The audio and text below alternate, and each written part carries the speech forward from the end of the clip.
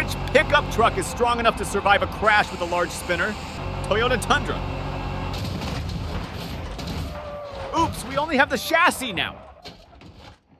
Dodge Ram TRX. Wow! The other part went flying in the next direction.